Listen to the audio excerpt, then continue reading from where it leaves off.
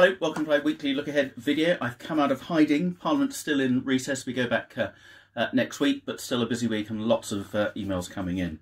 I hope you enjoyed the Easter weekend. Uh, for the first time, able to get out into the garden and socialise for those of you who are able to.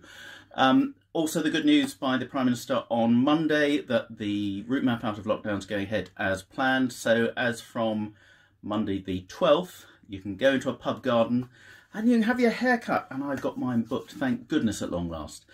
Anyway, I've got a long series of Zoom meetings this week. As usual, I've got briefings on the domestic abuse bill, which has almost finished its passage in the uh, House of Lords and is a really worthwhile piece of legislation. I've got meetings with Worthing Alzheimer's uh, Society uh, about dementia care.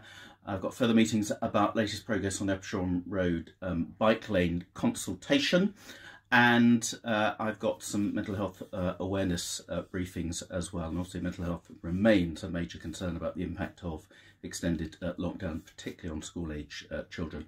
Then on Friday, as usual, a whole series of briefings with the local CCG, hospital, and county council, uh, and the vaccination minister on the state of play of the vaccinations. We're now over 60% of all the adult population vaccinated, still going great guns. And despite the slowdown that we're going through for the first part of April at the moment, the Brighton Vaccination Centre is actually still remaining open for uh, bookings, uh, and the Lancing Vaccination Centre, where I was over the Easter weekend, uh, is going great guns with second doses as well. So the pace is actually um, keeping up, which is uh, which is great.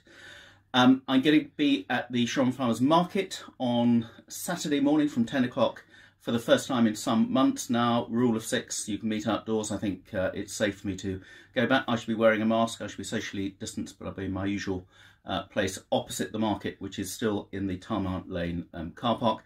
And then on Sunday, I've got various media things. I'm on the Southeast uh, Politics uh, show on Sunday morning and Westminster Hour in the evening as well. So, though in recess, still a busy week, and then there's going to be lots to get back to at Westminster when we return uh, next week. So, in the meantime, enjoy going to the pub, enjoy getting your uh, haircut and various other things, but still remember to keep safe because we're not out of the woods yet.